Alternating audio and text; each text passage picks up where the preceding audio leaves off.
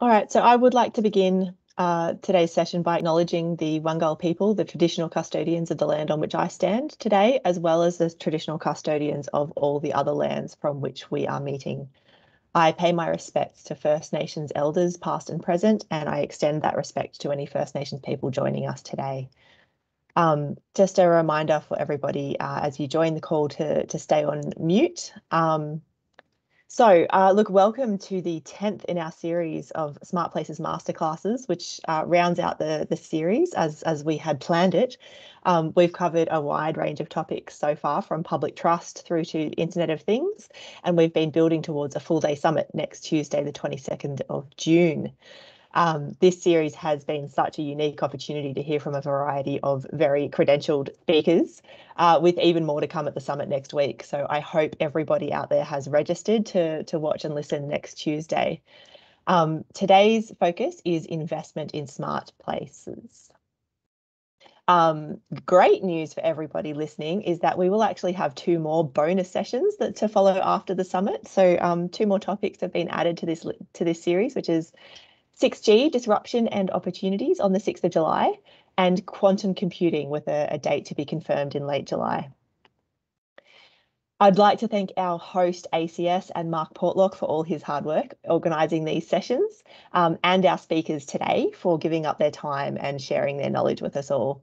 I will introduce them individually when we get into it, but first of all, some housekeeping.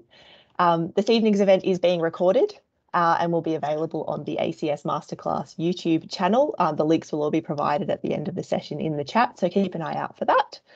Um, please do stay on mute throughout the session, but we'll have a few um, periods uh, in between speakers to ask questions. We'll ask you to do that in the chat. Please just type type your question briefly in chat and we'll then invite you to come off mute and ask your question in case you want to add a bit more detail. Please do introduce yourself when you when you do that so we know where you're coming from. Okay, um, so our speakers today are just, I hope I'm getting this order right. We've got Meredith Hodgman first, followed by Michael Komnenos and uh, Jason D'Souza closing us out. Um, so first off, I will introduce Meredith. Meredith is an Associate Director of Place and Partnerships at KPMG, the Smart Cities Chair for the Internet of Things Alliance Australia, and the co-founder and International Director of Women in Smart Cities Global. Meredith has a background in law, sustainable transport, and digital transition. She's passionate about catalysing sector convergence for the cities of the future and has 15 plus years of international experience in trade and investment, benchmarking and forecasting next generation technology trends for urban, economic, environmental, and social efficiencies. Meredith sits on the G20 Smart Cities Alliance PPP Task Force, the Future of Place Global Advisory Board, the New South Wales Spatial Digital Twins Special Interest Group, and she currently sits on the New South Wales Smart Places Industry Advisory Panel. So, bringing all of this experience to her presentation today, really excited to introduce Meredith. Um, I'll hand over to you, Meredith, and then we'll do some questions afterwards.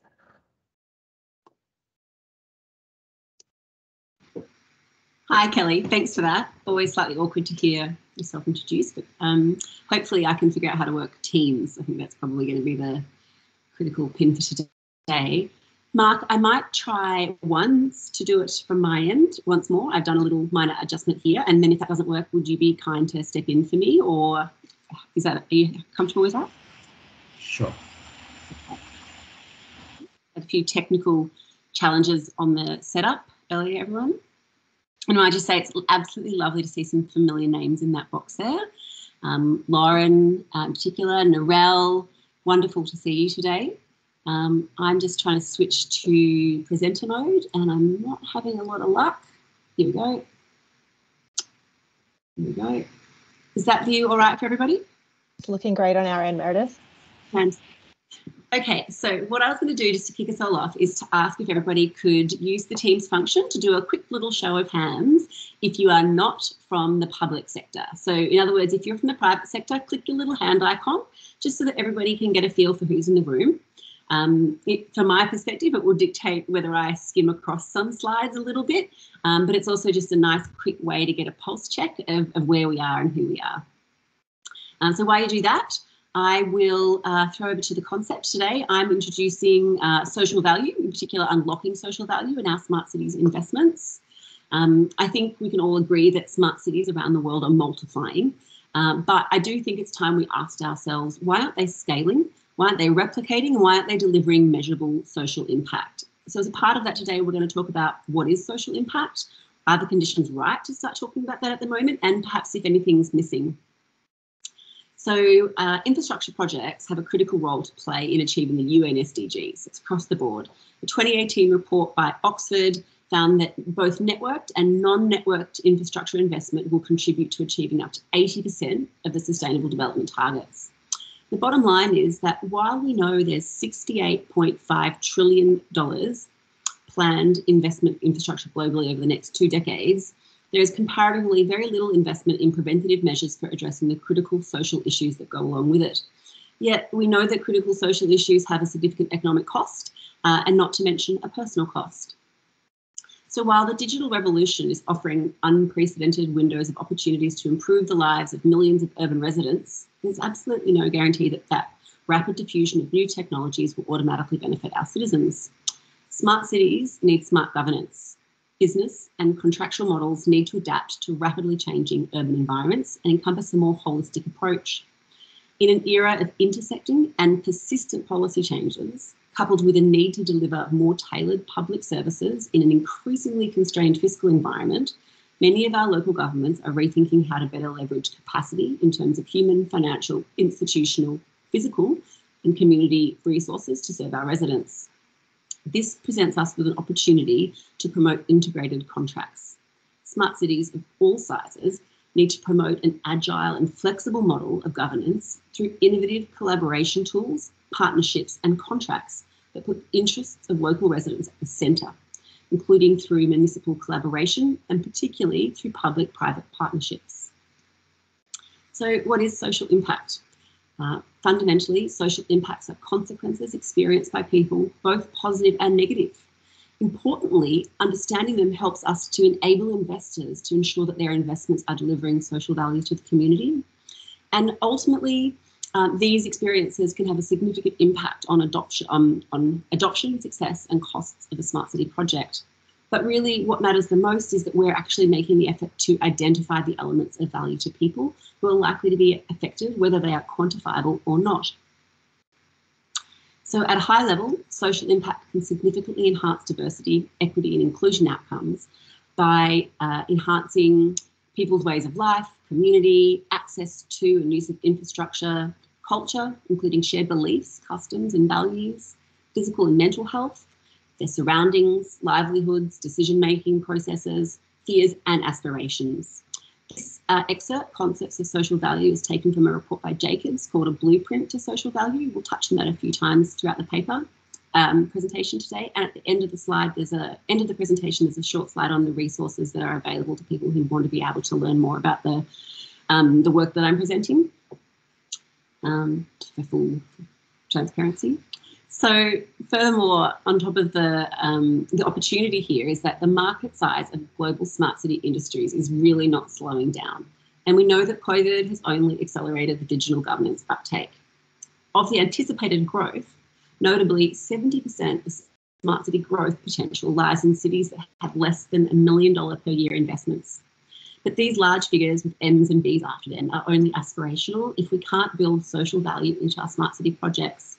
To realise the full potential of smart cities, we have to focus our efforts on social impact. And I think the time is now. I think smart city pilots are everywhere and could be expanded to achieve broad policy goals. Some innovative projects that are currently tested as pilot projects enjoy special conditions in terms of budget, human resources, and regulatory frameworks which will soon be no longer available when their projects and their pilots are wound up. So the tide is turning though. And I think that recent moves by the New South Wales government to centralise ICT spending and to consolidate digital service delivery have been mirrored by the federal government and coupled with major investment into digital infrastructure, cataloguing data assets, and intergovernmental collaboration. It was really interesting to see this budget that over 50% of the total digital economy package was committed to improving the enabling conditions of government's data capabilities. This signals a significant shift in government for all levels in Australia, which will be a precursor to smart city market growth.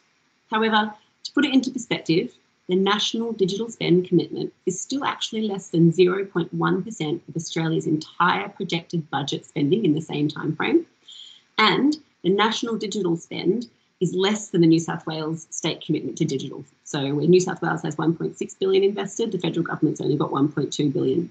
So we're seeing the tide turn, but we know that we have to be smarter with what the money that we have and the effort that we're doing into it. And I would call this a call to action, really, for us all to learn from our existing pilots and for governments to be brave enough to find forums where it's safe for government to fail fast. We don't need to recreate the wheel, we just need to improve on it. So the New South Wales Smart Places Acceleration Program is a really good example The government is helping place owners, including councils, agencies, etc., to apply innovative technologies to uh, how we live and, live and breathe in our places. The Smart Places Acceleration Program, facilitated by a $45 million fund um, over three years, accelerates the development of smart places across New South Wales. And what you see here are the six pillars of Smart Places strategy. I think it's a great example where social value has been prescribed by policy, and we now hope to see that parlay through the co-investment fund. Um, so the co-investment that I talk about here is coupled with matched investment in particular to deliver outcomes. And it takes a fairly um, brave approach, I think, for government to do a co-design approach and crowd surf ideas rather than being overly prescriptive. Interestingly, it requires a bit of a moonshot thing and problem and asks problem solvers to partner with state agencies to deliver change where governments can't do it alone. And this is important, um, particularly because uh, the program seeks to sorry. this is important deliberately because it's highlighting co-design as an emerging norm in infrastructure investment in particular. But when we do this, when we and we see it around the world happening, whether it's through service design, whether it's through um, participatory government, etc., what we are now asking the question of is who is ultimately responsible for social value in this scenario. So the value, social value, must be defined in the business case. I think we often forget that PPPs aren't the only way we can deliver our, our smart city investments. PPP is actually just the delivery model. And unless we're defining value in the business case through pre-procurement, we're never really going to see those outcomes. Pre-procurement, importantly, is also fully in the government space. It cannot be left up to the private sector alone. So if we aren't seeing social value from, let's say, modern PPPs and smart cities, then you could argue it's a market failure. So when we consider social impacts in a business case, it can allow us to ask important questions like what do communities need and how can the benefits be maximised and spread equitably? Using these types of questions to influence the design and scope of the project at the same time as we consider whether the economics are stacking up ensures that we're not going to lose sight of why we're going to make that investment in the first place. This less than attractive slide is taken from Deloitte, the challenge of paying for smart cities. And I've overlaid a couple of ring loops there to articulate out where the different roles for the players sit and to highlight that co-design space again around considering funding and finance options.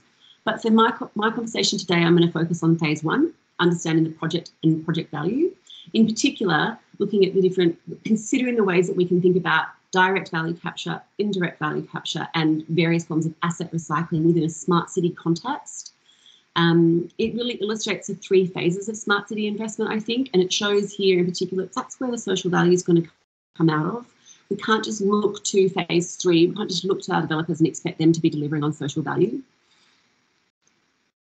Again, drawing on the Jacobs social uh, value blueprint, this blurring of responsibilities requires new collaborations. I really like this model because it articulates what each section of the community is actually fundamentally responsible for delivering and what they might actually also be facing in terms of a risk. So the financially sustainable business models is something that businesses and private sector certainly can contribute to and can inform.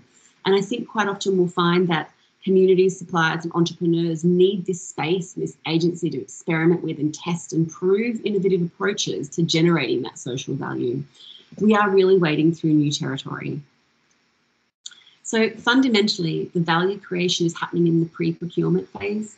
As smart city pre-procurement requires additional consideration, such as data, to determine the full social value though, we really just can't use infrastructure or ICT PPP guidelines, or business case guidelines, I should say.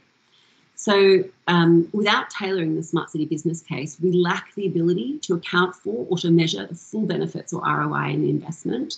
We are lowering our ability to draw on the full gambit of finance options that are available. Um, and ultimately, while triple bottom line guidance does exist for infrastructure projects in business case development, such as the New South Wales Social Impact Assessment Guidelines, unfortunately, establishing a business case is not as simple or straightforward as plugging the numbers into a template. So, okay, so theoretically, you've ascertained that a public private partnership is in fact the best delivery model for your investment and you know that you want to build a business case to capture as much social value as possible and to attract the best stakeholders, partners, and investors. But where do you start? Well, the short answer for a smart city project is that we are all in new territory. We're all learning and it's all experimental. And even drawing from global, state, or federal examples, most guidance notes are outdated, written a decade ago with no provision for data, privacy, or broader implications or opportunities that arise from social impact. It's time for an update. And with a little hope, we might see some guidance come out from Infrastructure Australia in their Reform Series paper later this year, and hopefully from the G20 Smart Cities Alliance, who are currently developing a model policy on PPPs for smart cities. Um, the closest guidance found for developing a pre procurement business case that incorporates social value in infrastructure was actually the Federal ICT Business Case Guide. So I keep coming back to pre-procurement and in phase one of this public-private partnership investment sort of life cycle phase. And I think it's really important to just call out the fundamentals, which is that the business case is a key tool to inform evidence-based investment decisions by government. It's as simple as that. The objectives of doing this really help to make sure that what we're doing is well considered, that the risks are shared, but importantly, that we're also achieving government priorities and objectives across the board. So there's no, without limited, sorry, with, the lack of guidance that's available out there to help incorporate social value into PPPs, especially in the context of technology, diversity, equity, and inclusion, we find ourselves looking to other sectors to consider how we might be able to, to approach design uh, our programs. Um, you've got an example there from that um, ICT business case uh, guide. I like that example particularly because it broke down by user, so it really helped people to think through the problem at hand. But what I'd like to show you today is one called a city canvas model. Um, for those of you who have ever worked in service design, you might be familiar with the business model canvas from which this takes a lot of, um, lends a lot from. The canvas's central element is the value proposition. And hopefully you can see on your screen there that there's a number of boxes. Uh, the value proposition sits at the center of the document. It's number two. Um, this, and it, it calls the person filling out this document to think through collaboratively with all of the stakeholders what the specific benefits are and what the specific problems proposed can be alleviated. Except you can only achieve that once you've been through all of the different boxes on this particular template. And so it becomes that co-design process and it forces people to think through and to evidentiate the various benefits from a variety of different perspectives. It's incorporating indirect and direct benefits into the community to support a holistic development of a business case in the next phase. Please excuse my typos. So I would actually probably call this a pre-pre procurement template, and I think it's a really fantastic example. The City of Bristol used it quite recently to pull together their ICT platform. And I thought from the lessons learned that they had shared, it would be really nice to chat through them there. I'm not going to spend a lot of time waiting around in how they've actually populated this template here ultimately, because I think it's very specific to a very particular project, but you could use this template for a variety of different things. Um, the three main strengths that City of Bristol reported on using this tool were that it really helped them to identify stakeholders, but in particular to identify them early. Um, users reported the best feature was the collaborative input into the development of the value prop. The Canvas's central element, because the ICT platform was still in the planning phase, the value proposition was the result of the managers and the stakeholders' expectations. Secondly, the exercise showed that one of the primary uses was this beneficiary identification. So most of the discussions between the workshops that they held when they filled this out were focused on identifying partners, vetoing partners, and talking through the benefits from a variety of different perspectives. And finally, the canvas showed the City of Bristol the difficulty of considering the potential environmental and social impacts of the ICT platform. And although I wasn't able to share a case study with you today, and unfortunately Liam was not able to join us today, I would just like to mention that the City of Sydney has been using this uh, methodology themselves in their smart city projects. And it was a really useful experience um, for the teams because you start out when you're solving a problem uh, within your own individual business unit, but when you're forced to consider it through the lens of this canvas, it forces you to engage with different, not just different business units, but also different uh, public sector, private sector, sorry, public stakeholders throughout the process as well. And what it meant was that once the work was done, the thinking was done, we're then able to plug a lot of this information into the existing government templates that we are required in order to access various major investment or infrastructure project uh, approvals. But it was this pre pre procurement work that really helped to dig out the social value that came from the various pro projects. So interestingly, and the government is defining the outcomes here, that they would like to effectively buy or purchase, if you will, through an investment, no matter what the delivery model, they're not going to make it into the business case. So while we're experimenting, it's important to still keep some core principles in mind. Start with the end in mind. Define the value and the desired outcomes of the project. Get clarity around the ultimate objectives that you're trying to achieve and the needs that you're trying to address. Um, this is really necessary to attract the best investors. You need to be able to inventory your available assets and think outside the box. Take stock of the assets that you have at your disposal. Are there assets that could be recycled? Are there assets on the roofs of your car parks? Uh, is the data being appropriately considered as an asset? Once the once the government has identified what you're actually permitted to do with those assets and who owns the ownership of those assets for part of the deal, then you can go on to the next step of figuring out how to actually collaborate. So understanding that business model, mapping out the whole of life cycle business model. Um, one of my favorite quotes has come from a, a, the mayor of the city of Dijon in France, where he said, CapEx is the enemy of innovation as they were implementing their Dijon Smart City project. Ultimately, if you don't map out the whole life cycle in your business model, then you'll never be able to realize the benefits fully and to show that value to go back and get more money from the CapEx budget. So for some time, I've really wanted to raise this question. It's early thoughts, but for me, I feel like driven by multinational corporations and fancy widgets, that smart cities has been a market failure for quite some time. It's deliberately provocative, yes. Um, I think too often we don't see governments decide what they would like the private sector to pay for as an ancillary side project in smart cities. Too often we see people solving a specific problem and defining an outcome rather than considering what else could be improved or who else might benefit from participating. So it's not always about prescribing explicitly. It's really important that you pull out tactics like incentives or extra development rights, etc., to be more effective measures than pushing, uh, sorry, pull, sorry, push tactics. So pull tactics like tax incentives are going to bring that private sector along with you because you can't just expect the developer to deliver everything unless you incentivize it. And I hope that we might hear some more from Jason and Michael on this a little bit later. Um, so as a couple of little examples to wind up here, um, with average daily temperatures in Singapore rarely falling below 30 degrees, um, we saw a lot of attempts to bring together different types of design standards to incentivize the better use of public space. Um, the URA in Singapore introduced these design standards in 2017 and ultimately, developers who were happy to include private public spaces in their projects, even if they weren't required to do, do so, qualified for additional gross floor area in their product in their project um, with an exemption if the property was frequented by the public or situated along popular, popular routes. Full disclosure, you're not looking at a picture of Singapore, you're looking at my favourite train station in Stockholm where they've utilised art in their public space or um, my favourite uh, basketball stadium in Hong Kong, which is like just on the roof of a regular, um, I think it's actually on the roof of a library, but it's just, you know, one of these things where they've found different ways to be creative with their public space. Um, green incentives, I think green roofs is probably another really classic example of how governments can use incentives to bring the private sector into the investment to deliver ancillary benefits for social value. Toronto, for example, introduced new laws for buildings or extensions greater than 21,000 square feet decades ago. Um, other cities have opted for more flexibility in, in what they're going to do and what they're doing. So, despite Toronto's laws, they reported that uh, between 20 and 60% of their buildings um, had to have vegetation and that developers could actually opt out for a fee if they would like.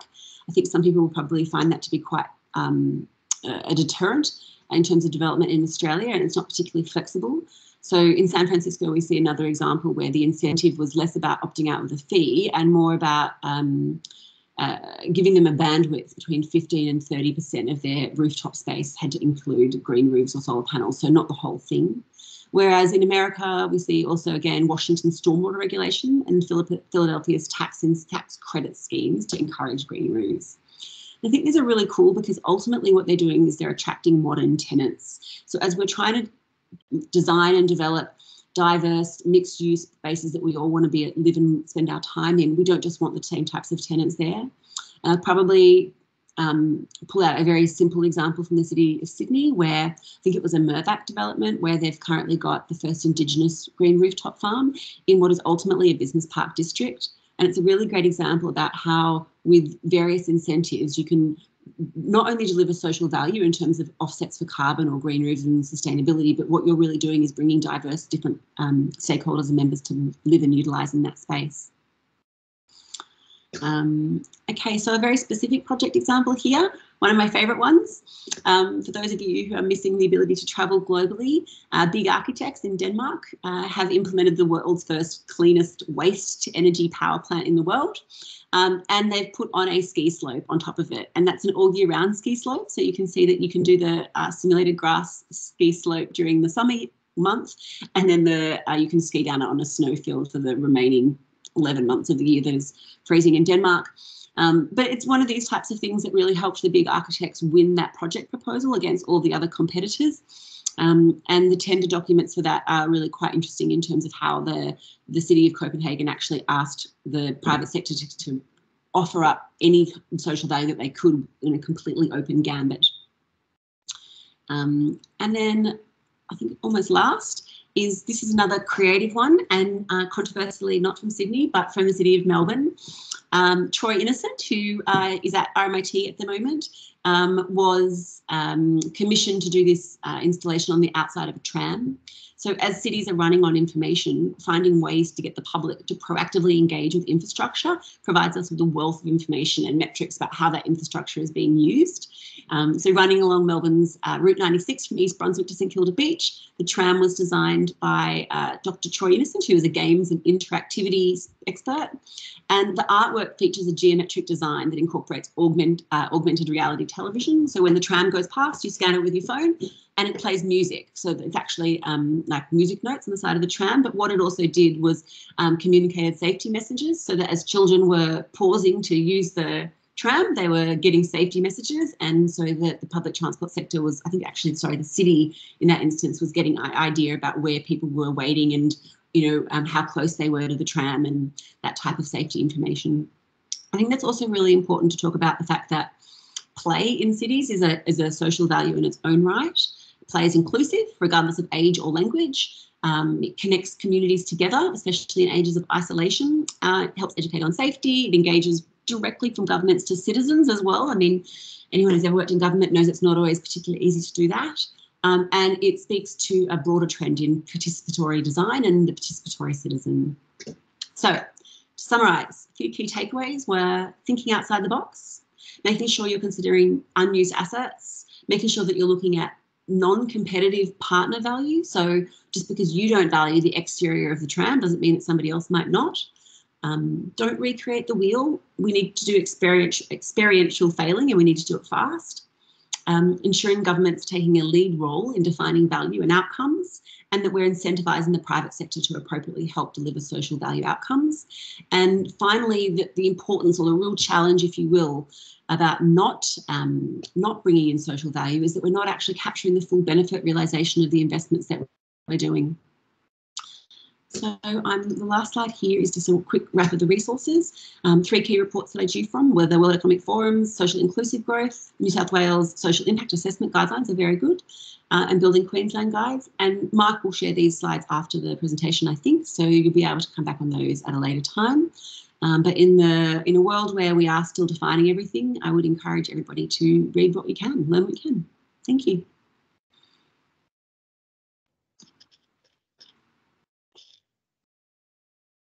Thanks so much for that, Meredith. That was a lot of information in a very short space of time. We've squeezed all of that into half an hour, which is fantastic.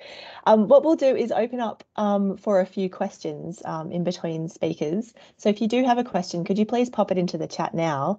And I'll just get us started um, by asking Meredith one of mine uh, to give you a bit of time to, to type away. Um, so Meredith, you mentioned benefits being overlooked. Um, I'm, I'm really curious in your experience, what sorts of outcomes or benefits from smart cities do you think are most often overlooked, either because they can't be quantified or because they just are not obvious? You know, I actually think it's almost because they're too obvious. So a great example would be that you want to pull together a um, an immersive technology experience for visitor economy, right? And so you're really focused on your visitor economy, you're really focused on understanding augmented technology, you're really focused on your stakeholders. And then you don't think about extra extra benefits like actually what about people with english as a second language? They might not be visitors but they always live here. So unless you kind of force yourself to go through uh, some type of methodology or you're using guidance and templates it's not easy to always pick the obvious because you know our communities are so multicultural in australia. There are hundreds and thousands of our, our residents that don't actually speak english every single day of their lives. A really good example of that analogy is also um, how neighbourlytics the type of technology that Neighbourlytics applies. When they look at social media, you can have a look at how many people in Sydney using our trains at the moment aren't actually tweeting or using Instagram in English. So these these types of ancillary benefits are kind of the known unknown, if you will, I call them. We know about them, but we are so focused on our particular um, remit and responsibility that we don't always broaden our lens to capture the full value of our work. So that that sort of leads me to think that there's there's probably a lot of opportunities in what's actually already out there that may not be realized as well. Yeah, um, exactly. Um, For a sector, it's really hard because you know we were talking about how hard it is to get funding or get money or to you know to really catalyze what we're trying to achieve. But actually, if we made the time and the effort to quantify what we're already achieving, it would build the business case and mount the rationale, not just for government funding, but to attract other investors to really understand, you know, other stakeholders and private sector investors to the table. So on a, on a related note, um, with the with the increasing sort of openness of, of data, um, particularly with the, the New South Wales government open data portal um, and the trend towards digital services through COVID and more generally, um, I would love to know what are some of the big shifts you've seen that you're most excited about that can start to help build these business cases?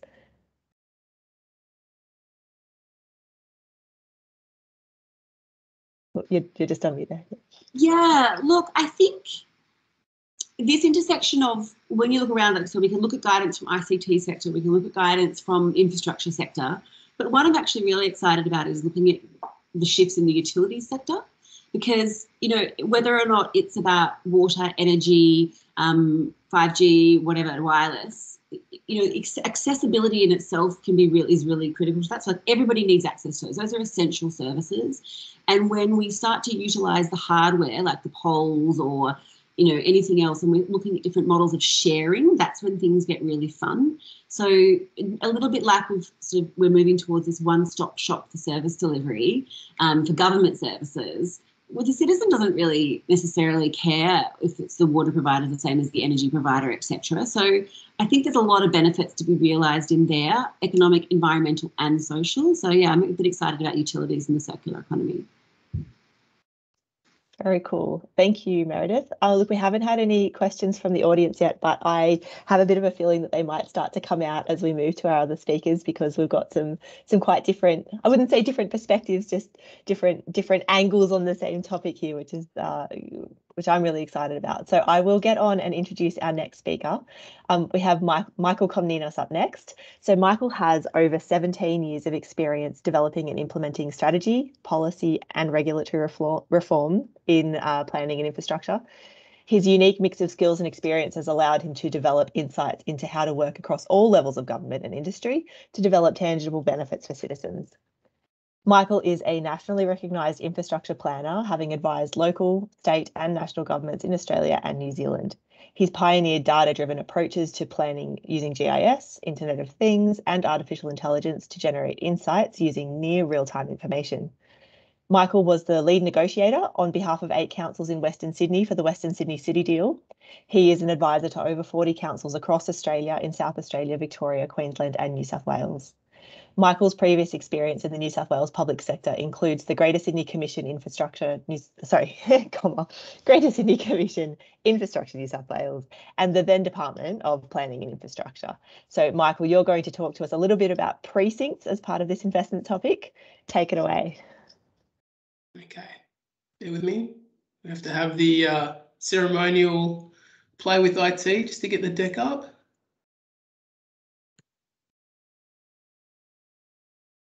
Okay.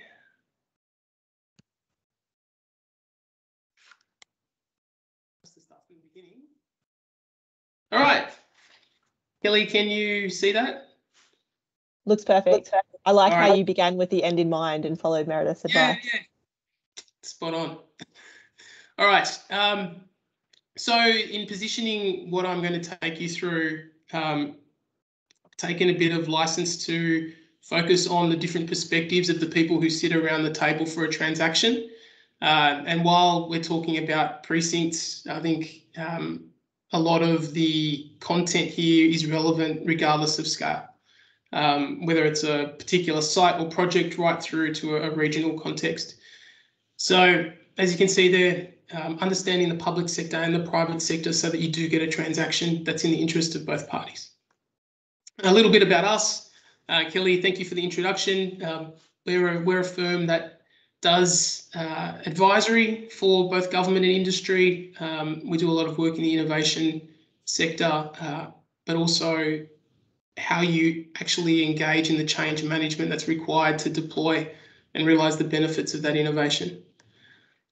So the uh, the outline of of my uh, 15 minutes or 20 minutes. Um, look, rolling through the promise of digital and the importance of scale, I don't think I don't think that's discussed enough. Um, the role of government, industry deployment models, um, the topics of, of a pilot and going beyond an engineering question to a financial question, and that will touch on some of the things that Meredith uh, just mentioned and also what Jason is likely to discuss. Um, and then the ongoing situation. So as Meredith said, you know, sometimes capex is the enemy of innovation. Uh, sometimes a one-off capital injection isn't sufficient. So getting an understanding of what you need to make something stick and work beyond the initial investment. So with regard to scale, um, look, a lot of people talk about digital, but the real benefit of digital is the fact that you can deploy it again with limited augmentation. You know, the cost of the next sale can be relatively cheap. Um, that only works if if you have a scalable situation. So if we look at precincts, uh, not all places are the same, but the challenge for the sector is to find digital solutions that can be scalable regardless of the specific situation of the precinct. Uh, now, in practice, how do you do that? There needs to be some type of aggregation. Either uh, it happens at the place level, and I've got the example there of the Hunter Joint Organisation of Councils. That's the organisation that has 10 councils in the Hunter in regional New South Wales, and they can themselves organise what it is they're looking for from the market and go to market. Um, but then usually the sector, the smart city sector, that has a, a technology or a solution that they want to deploy they're they're pretty hard pressed working out how they get it to the market. Are they trying to sell it to the government? Are they trying to sell it to an end user, or are they trying to sell it to a business? Um, and in early days, it's before the market is established. This can be quite an onerous situation to find yourself in for both both sides of the transaction. Um, often finding the path to the procurement um, and the path to the transaction uh, requires a lot of heavy lifting from a couple of small players. Um, and then once the transaction takes place, then others others are able to benefit from that as well. So this, this slide here, we're talking about the role of government, and in particular, I've, I've mentioned the role of local government. Um, for those who are not familiar with the New South Wales context, there's over 120 local councils in, in New South Wales. Uh, we have different models around Australia. Obviously, Southeast Queensland has larger councils um, being able to operate with larger budgets and larger geographies. Um, so that, that leads to two situations in a New South Wales context. One is you have uh, state governments that find themselves running services and infrastructure that in other jurisdictions would be done by the city, um, be it social housing, over 100,000 properties in, in New South Wales, um, schools, policing, roads, transport, some of these things, if we were talking about New York, they'd be part of the New York City conversation.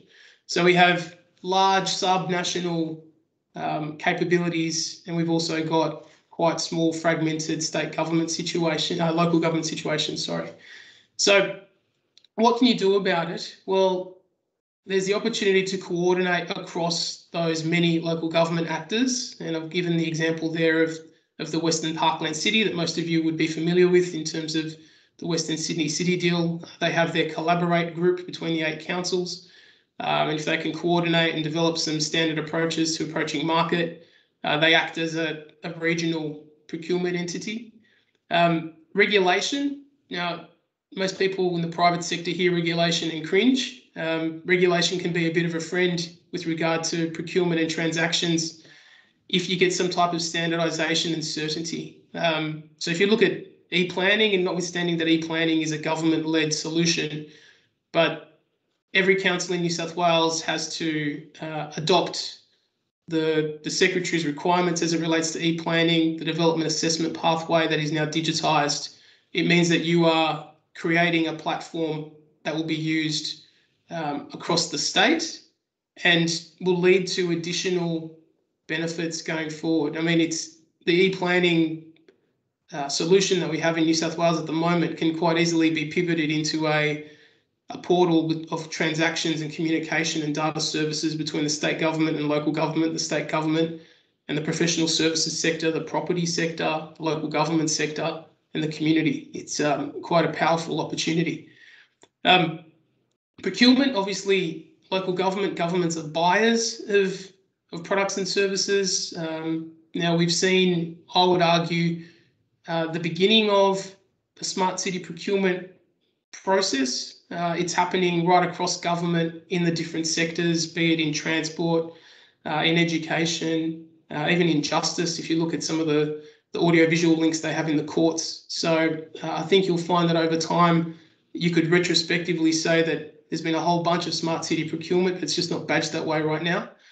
Uh, and then the solution development. This is probably the, the controversial part, and that is where government steps in and starts developing products and services themselves. Um, one of the examples I'll put down there is the Park and Pay app, um, led out of uh, Service New South Wales. Now, arguably, the development of a Park and Pay app, uh, this is for car parking, is not the most complex uh, software engineering problem to solve, but uh, I'd put it to you that working with 120 councils to get it onboarded um, probably requires a bit of support, and I think the government's uh, taking that on. Uh, and there's a lot to be learnt in how you aggregate and distribute some of these solutions across many places and precincts. So even though the private sector might look at that model and say, well, you know, we could do that.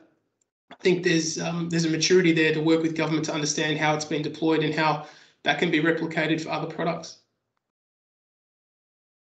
So the role of government again, um, looking at when they get involved, and Meredith used the term market failure. Uh, generally, governments get involved when there's a perception of a market failure. I've just described that parking app situation. Sometimes the market failure is how you get product into market. Uh, the markets aren't as liquid as you'd think.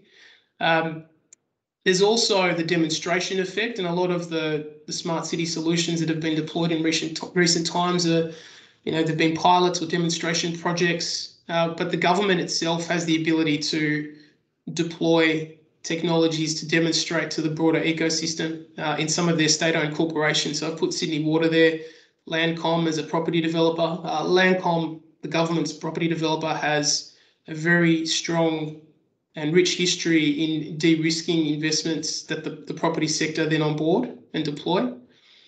Um, and then, of course, we shouldn't be limited to state-specific solutions or paradigms. Um, you know, these states are they're just boundaries. Uh, there's no reason why you can't deploy something in New South Wales and Queensland, New South Wales and Victoria, um, particularly given that we have cross-border towns that operate as one region, be it Albury, Wodonga, or the Tweed uh, and Southeast Queensland.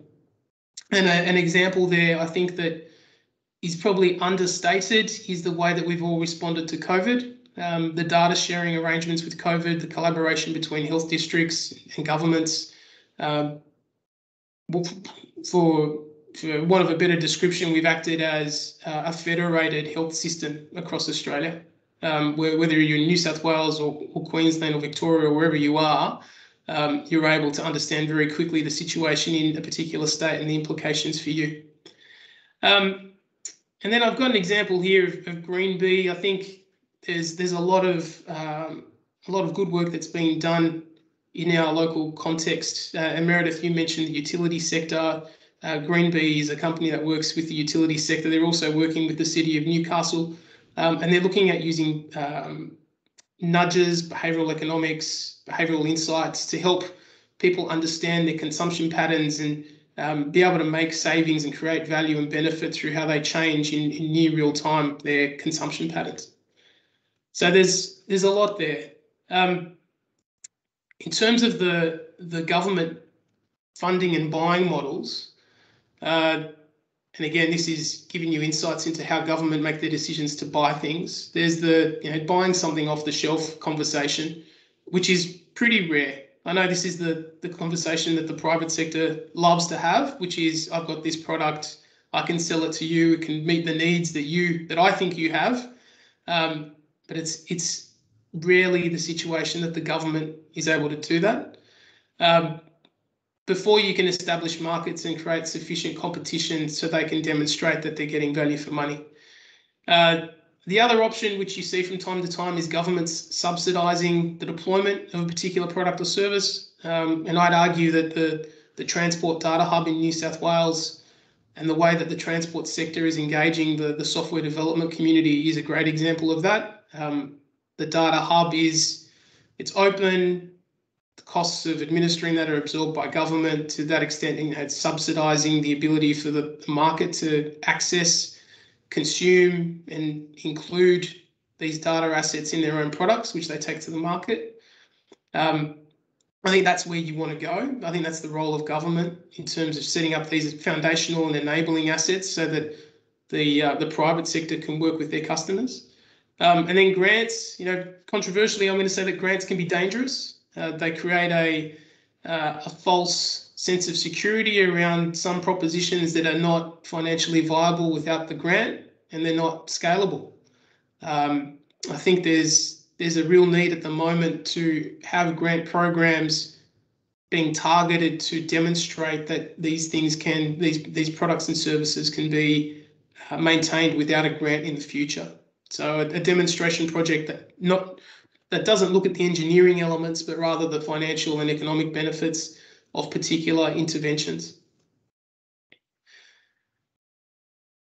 Again, if you're looking at, at government, and this is um, largely to the, the private sector actors in the room, um, it's very rare that the government has a pot of money waiting for your great idea. Um, it's often the way that governments have already allocated money to particular uh, to resolve particular outcomes or, or problems. Um, and I've got there on the left-hand side, you know, solving something that's already a funded problem, like waste. I, the amount of people who are surprised when I say that, you know, on average, 30% of a council's budget goes to waste management and collection uh, when they're talking about smart city solutions and they haven't thought about waste. Uh, so if you're looking to to offer a solution to a council and you're trying to think of where where they have a problem that they can fund, waste is definitely a place to look. And more recently this week, the New South Wales government released their waste strategy for the next 15 years.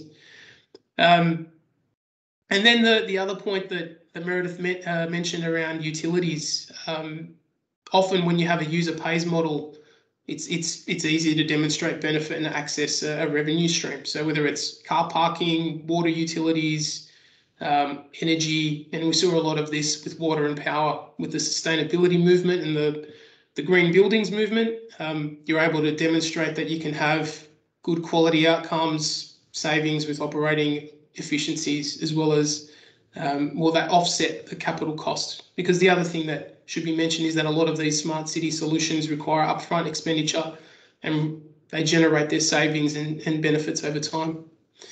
Um, the word PPP comes, or the term PPP comes up every now and then. Um, I, Jason may talk about it a little bit, but PPPs uh, have very defined connotations in the infrastructure and, and property development sectors.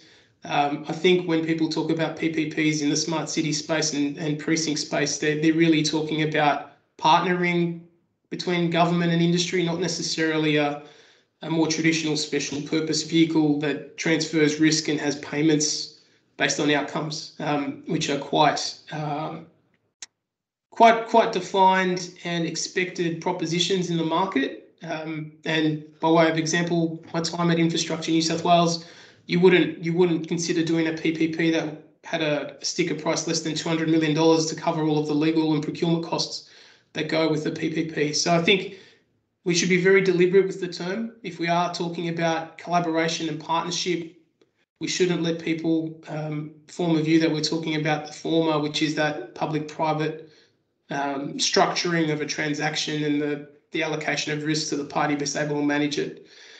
Um, I will say though that the that last point there, the bigger the contract, the more interesting things. Uh, whether it's longer period of time, more assets being thrown into the mix, um, upstream, downstream, the ability to derive value. So you find, and, and Meredith, your point around the Lyon um, command center, you know, you do get some big transactions that some governments go to market for. Um, but in our context, it's it's quite a risky endeavour at this stage. So I think people need to be realistic about that. Um, now, the industry sales model, if we're wearing the industry hat, um, you know, it costs a lot of money to develop products and it costs more money to sell it. So, you know, usually there's there's a desire to, as quickly as possible, recover the expenditure that went into developing the product and getting it to market. Um, so, you know, people are either going for a big build for a big group. I'll just read out the boxes. They're a big build that you can sell many times, um, or a big build that you can sell on a per user basis.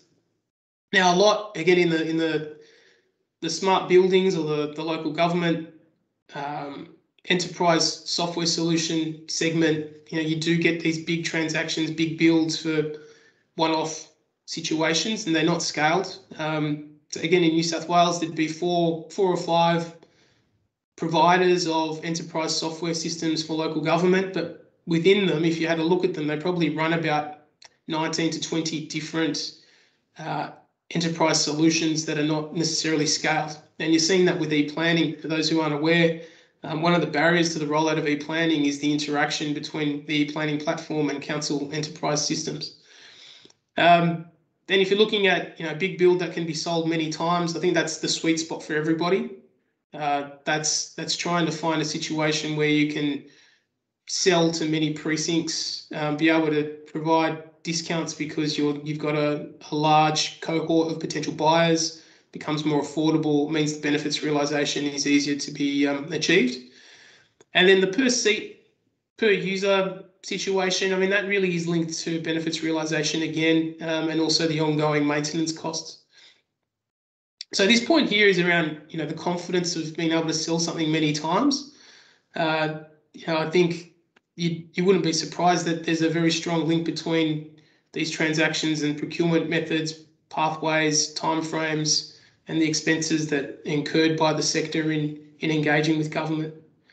Um, interoperability, it's, you know, it's been around, the, the conversation's been around as long as smart cities have been around. Uh, in early days, there were biases in the in the private sector to, if you like, um, limit interoperability to have a stickier transaction and recover um, some of the, the benefits over over a longer period of time because it was harder to pivot and harder to to incorporate other solutions. And I think that's one of the challenges. I think the market will offer interoperability if we can find a way for them to scale. Uh, and that's something that I think government and the market need to be mindful of together. So moving moving beyond the pilot, I made this reference when I was talking about the grants earlier on, not just engineering, but we need to look at benefits realization, so benefit identification and benefits realization. Uh, and you know the the lean canvas that Meredith showed was fantastic. Um, you know when you're doing something like this, why why are we doing it? Can we measure? Can we measure the benefits that we're seeking to achieve? Um, and then the last question: Would you fund the outcome being realised on an ongoing basis? And I I think that is the tough question for the sector in Australia at the moment because we have many point solutions, many interesting projects. Uh, we don't have many I can't give you a portfolio of case studies that I've seen that says here are the the 30 projects that have been delivered that generated savings. Those savings paid for the deployment. They've been scaled. Um, that's that's I think the challenge for us over the next to 12, 18, to 12, 12 to 18 months. I think they are out there. I think they're able to be deployed and documented. I just think we've got to we've got to make sure that we work together to get that done, um, so that people don't pursue other endeavours, both government and industry. Um, look, this slide here is very much around once you've deployed and you've generated that first horizon of, of benefit, how do you make sure that it's you get that virtuous cycle that the benefits get harnessed, they get reinvested, almost the um, you know the asset recycling that people talk about with the physical environment it's almost benefits recycling in the in the digital environment. How do you how do you harness that and get that virtuous flow? Um, you can't ignore capacity and capability uh, and that's in the government sector and in the private sector. It's not just the the capacity and capability of the product it's the people who are using the product maintaining the product how it interacts with uh, systems within a, a government or council context or even from a precinct perspective, um, you know, if you look at a precinct like Macquarie Park, you've got multiple actors, uh, universities, shopping centres, um, industrial landholders. How do they work together? How do they um, how do they find a solution that suits their needs but can be continuously funded, operated with people with sufficient talent to, to execute? So in terms of the, the takeaways, um, look again they they're they're there to be read. Um, we've got to go beyond engineering. I think um, someone said to me you know 90% of the code we're going to use in the next 10 years has already been written. Um, so it's i don't think the challenge is developing the solution. I think the challenge is developing clarity on the problem to be solved that is able to be funded to be solved in a market that can be scaled so that we generate savings and efficiencies and can can fund either more good things or other things. Um, the importance of measurement and reporting and, and, being able to have a legitimate business case in the first place. Um, I think there's a, a, maturity and a confidence that Meredith used the, the term, you know, failing fast. Have the conviction to say that we're doing this because we we want to achieve this outcome. Have a go at procuring and delivering and, and securing that outcome and be honest about the performance. Um, if we don't have that honesty, then we won't be able to improve. Uh, the third point there is um, taking the time for, for benefits identification and realisation.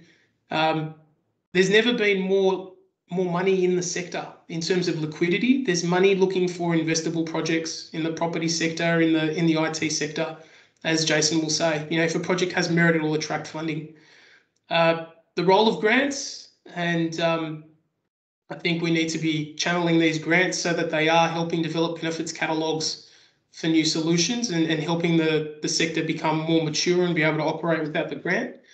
Uh, and then the role of government um, and government playing a role in overcoming fragmentation. I think, you know, if, you said to me, what's the one problem in the smart city sector, I'd say it's that fragmentation. And that's a, it's a nature of the way that our economy is set up, our democracy is set up. You know, we have um, the good fortune of many different views, many different suppliers. It leads to competition and innovation.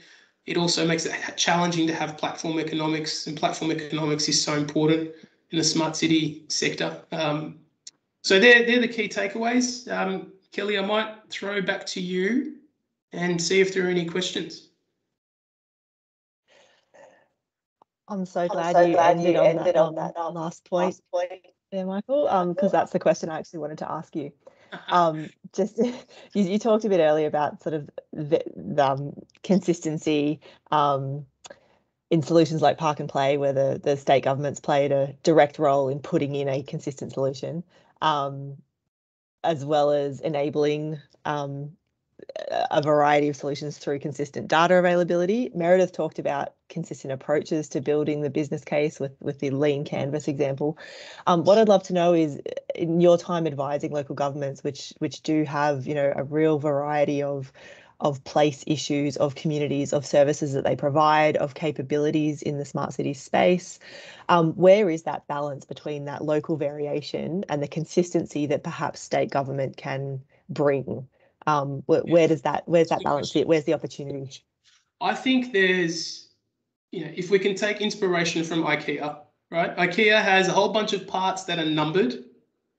I think you can standardize components and allow people to use them flexibly. But you have a standard catalog of components. You know, if every council will go to their community and they'll ask their community what their big issues are. And when it comes to a precinct, every community will say parking every community will say, I, I want to go to that place, but I find it difficult to park the car. And council will say, well, let's try and change that from parking to movement and let's talk about you walking and getting the bus and riding your bike. What people would benefit from would be a standard way to catalogue, describe, and share mobility information. So we have that for public transport. We don't necessarily have that for footpaths, for parking controls, for um, on-street and off-street parking uh, availability. Um, so I think in that example, where you might be in the Blue Mountains and your parking issue relates to tourism, or you might be in Chatswood and it's about commerce, or in Kogarah and it's about going to the hospital. Each of them have their own use case but fundamentally they'd all benefit from a standard approach that said, when it comes to parking, here's how we all agree to curate that data. Here are the definitions. Here's how we'll share it. We'll share it centrally through the state government. And then if anyone wants to develop a parking solution, they don't have to worry about engaging 120 councils to make sure that the parking data is coming in the same way and going out the same way. So I think that's that's the type of conversation that needs to be had, where you can say to those jurisdictions, we can do this in a way where you can meet the needs of your stakeholders, but from a foundational perspective, we need to set it up so that it's logical and scalable. Brilliant, thank you. That was that was such a great answer, Michael. Um, just just to give the audience a bit more of a chance to type any questions in there, there was one other thing I wanted to throw at you um, before we move on to Jason. Um, how do you think we can address those competitive barriers to interoperability and, and I guess I throw um, open data sharing into the mix there as well because that's something I've come up against in um, um, you know mobility as a service type type discussions. Yeah, yeah, it's hard. It's really hard. Like I, you know, we we advise government and industry, and we're also a small business ourselves. And I'll, I'll share with the room. We've talked about, you know, anyone can access the open data so what is our value add? Like if we're going to create additional value, we need to do something extra. So we've thought about doing a survey to insert additional data into the open data. And then we have this existential crisis where we say, well, do we give that survey out to everybody because we want to share it? And then we think, well, no, but that's that's part of the value proposition, and that's the challenge. So if you're if you're creating an additional value on available information, which lots of data, either data providers or data analysts do. How do you motivate them to share it? Because they do incur a cost. Like they're not doing it. They're not doing it um, because of philanthropic drivers. They're doing it to make money. So we have this this situation where I don't know. And, and there's been a couple of attempts that haven't worked out. People have, you know, there's been marketplaces in Denmark to an extent. There have been private examples of this domestically. I don't know that the market is in a position yet where you can trade insights or, or additional um, data sets that would otherwise improve interoperability. So it's a tough one. I, I, I think it's probably a, a third horizon or fourth horizon play. I think if you try too early, it just won't work. So I think in the short term, it's about minimizing harm. I don't think we can get rid of it. But you know, how do you through procurement say, look, we understand you need to recover your costs, but let's be reasonable about this. You get a period of exclusivity, or you need to be able to have um, certain interoperable interoperable characteristics. Watch this space, huh? Yeah. Thanks, Michael. Okay, uh, we will now head over to our third speaker, Jason. Um, Jason D'Souza is a group executive at Lendlease. Hey, Jason, with responsibility for data and communications infrastructure development and how these assets can create digitally connected and more productive cities. Prior to this role, Jason was director of major projects and specifically focused on originating uh, infrastructure projects, which delivered superior property and place outcomes. Jason's strength lies in his deep understanding of the intersection between business, markets, and public policy. Prior to joining Lendlease, Jason served in senior policy and leadership roles at both the state and, and Commonwealth uh, levels of government.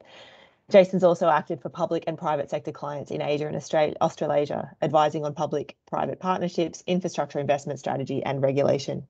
He has a particular interest in how to unlock the potential of cities, focusing on how infrastructure and urban renewal projects can make cities more affordable, efficient and accessible and create value for public and private investors.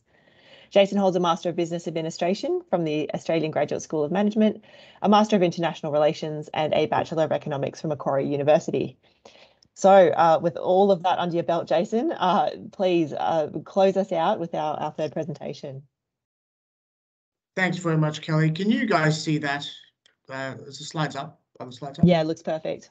That's amazing. Look at that. So obviously, with all of that introduction, operating slides might be something that uh, that I may have finally learned on Microsoft Teams. So has anyone has anyone had the experience at IKEA, by the way, that you always end up with things left over afterwards? Or is it just me? Yeah. So uh, this is you, Jason. it's just me. Okay, fair enough. So look, I'm going to try and provide a, a bit of a, a property lens or property developer lens or private sector lens after my counterparts, uh, Meredith and Michael, have provided both the business case side and the social impact side, and obviously how government treats for these things. So uh, I think it's safe to say from a development perspective, the, the property sector and the construction sector generally, and certainly us at Lendlease, are very excited about uh, what smart technology is and what it can do in terms of efficiency and in terms of improvement of development outcomes. Uh, but I think we still have yet to work out exactly what the business model is, particularly when it comes to large scale public procurement and integration of the public good. And so that's something I'm going to try and address today. So um, if I go to the next slide here, so how do we actually view property development? Well, so this is a picture of Barangaroo. You can see here um, these new residential towers that are coming up here and the uh, the Crown Hotel, the Crown Sydney Hotel. And so this obviously was a development procured in 2008. It had been planned probably a decade before that. Uh, it was declared an area for redevelopment under Premier Carr a long, long, long time ago, right? That was somewhere 19, 1998 or something like that. And it's only now in 2021 that it's coming to some form of completion. There's still more to go. So what does it involve? Well, we've just talked about the town planning element of it. It's a long and arduous process. Then there's negotiation and land purchasing, which uh, is trite to say is, is tough and trite. It, uh, it involves uh, significant forward thinking in terms of how you actually structure a commercial agreement and flexibility because cities change over time. And I think if you look at all of the major precincts that Michael referred to in his presentation, uh, one of the things that I think has never been anticipated is the pace of technological change and how you deal with that in a contractual framework. Um, then you get pre-purchasing, you get documenting and drawing it all up, you build it, and then you have to manage it. And the management part, again, from a technology perspective, is now becoming more and more important because of the life cycle costs that go into actually managing the technology within buildings. So an example I always like to use is in each building, we have a, a, a an in-building coverage system that allows you to use your mobile phone on the uh, on the 5G network, 4G network, um, and it's current today. But when we end up in 6G, and, and a quick plug uh, for the masterclass that's coming up on 6G, which I learned about earlier, um, I'd love to know how we're going to upgrade the DAS systems to cope with 6G, given a 5G one isn't available yet, right? So how do you embed that in a commercial model? Um, these are not answers that anyone has yet, and we at Lendlease and, and many of our counterparts in the property sector are working on at the moment. So how are we actually approaching this problem from a from a digital technology level. So uh, Meredith, who's one of our greatest fans when it comes to our podium uh, digital suite, uh, will be able to tell you that we are trying very hard to start to think about imagining things virtually and designing them virtually. So this is a product here that we call Envision. And what that really allows us to do is start to design and virtually scenario test what a building could be, not just in terms of the building itself, but also what's around the building. And that allows us then to integrate into the city appropriately from an infrastructure point of view, water, power, renewable uh, renewable power, if that's integrated into the precinct, recycling and waste, uh, to refer back to my, Michael's presentation on that, uh, to basically increase the capacity of the building to integrate properly into its into its surroundings, but also of the building to be more responsive to people. And this is why we've really invested big time now in having our own digital capability, um, which is Podium. There's three elements to it as well that are past the scenario testing part, which is the automation part. We believe firmly that we're heading towards an autonomous building scenario, a building that could tell us when something goes wrong with it, tells us when there are maintenance issues with it, tells us when there are temperature changes that are making it less efficient, uh, tells us which floors are occupied well, which are not. Um, these are all things that we are progressing to in terms of what a AAA rated building would look like. And then outside of that is more on the construction and development side is the idea of an automated supply chain. So you'd be aware, for example, that you know most of a building has some 80% of it are common pieces. So could we substantially cut the cost of putting together uh, a very large development if we use standardized parts that were manufactured, you know, locally perhaps? And could we do that from going file to factory from the digital twin to a set of suppliers using a standardized set of products. And in fact, to, to, refer back to Michael's Lego analogy, that's exactly what the beauty of Lego is. Each block is interchangeable, you can build lots of things with it, and your imagination can go anywhere. The beauty of Lego is that it's each block is completely standardized to fit to another block, no matter where it is, anywhere in the world. And that's really what the power of, of digital offers the real estate and construction industry. But from a smart cities perspective, what it does is it really does allow us to start to integrate in a virtual setting what we think uh, broader smart technology could could do. So everything from your parking app example, Michael, to uh, some of the social impact stuff that Meredith was talking about, to other examples uh, like how you integrate your shopping habits, for example, or you know your mind can go anywhere on these things. So that's that's a quick idea of how we are approaching it. So a bit more on what that means. Well, what does a smart place actually mean when we talk about smart places and investing in one? Well, I've given you one example of an investment, which is how we're investing in the digital capability of it. But that's really about how we can make ourselves more effective as a property developer and how we can develop better places uh, for our customers and our shareholders.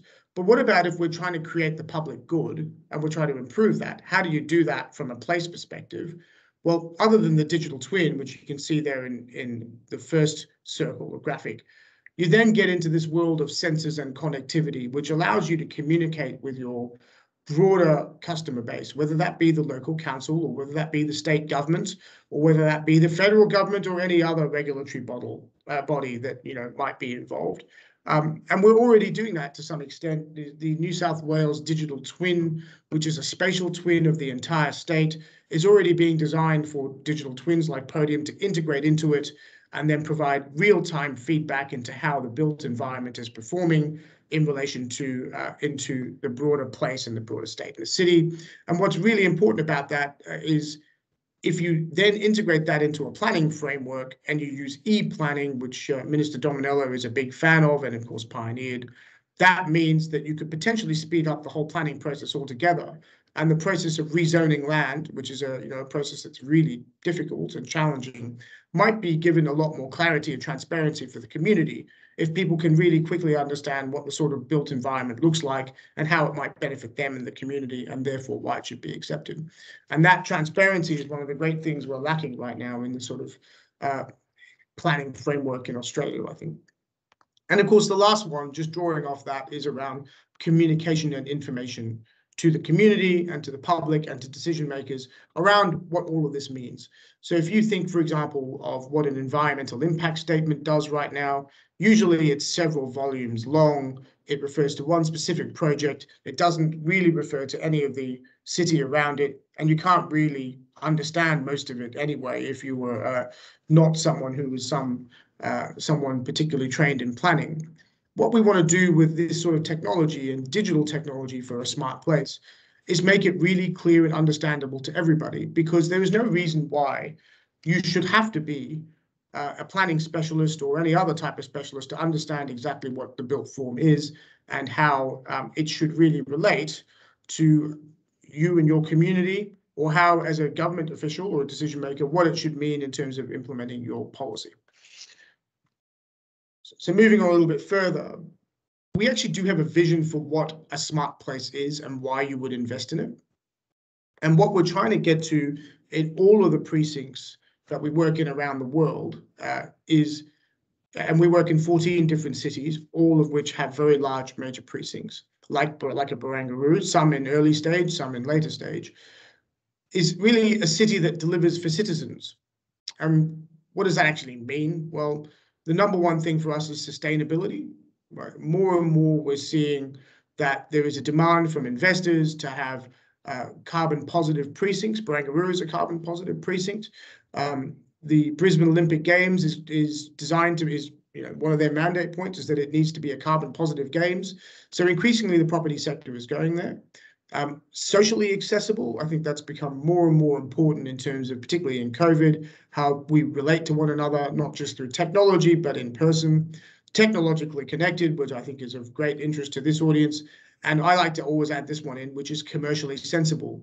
And Michael referred earlier to grants being a difficult thing to apply in terms of commercial settings. I tend to agree from a private sector perspective. I'm not a huge fan of grants. It's not free money. Uh, it is uh, it is difficult to account for it. It often it often creates the, um, the the wrong commercial signals, and you end up basically with a substandard product because you're trying to trying to meet a whole bunch of other objectives other than building what is a commercially sensible product that that delivers on those first three objectives.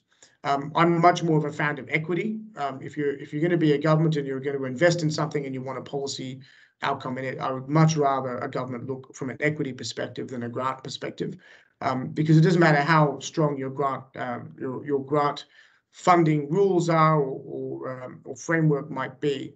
Um, commercial incentives are always set in terms of how you can get a return for your investment. And I, have never felt that the taxpayer should view that differently to any other investment it, you might you might choose, for example, that maybe you might take a, a smaller return or something like that.